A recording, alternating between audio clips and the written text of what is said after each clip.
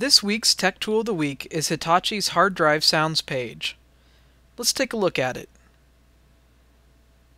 As you can see, the page is located within Hitachi's knowledge base. A direct link to this page can be found in the show notes for University Tech Episode 15. Let me go ahead and scroll down to the sound files. As you can see, there are six unique hard drive sound files.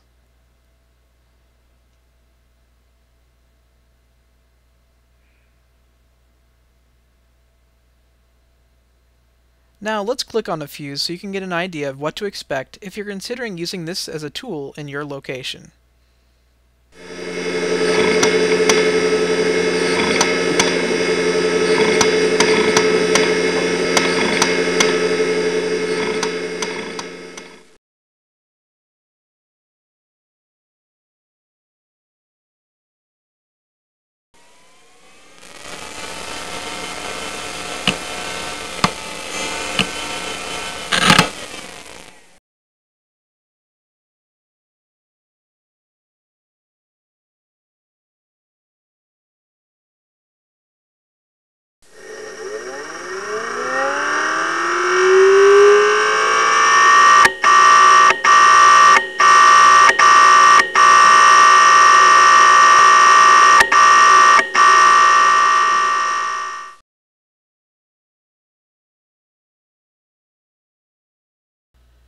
Let's hope you don't ever have to encounter any of these sounds that can sometimes mean imminent doom for data.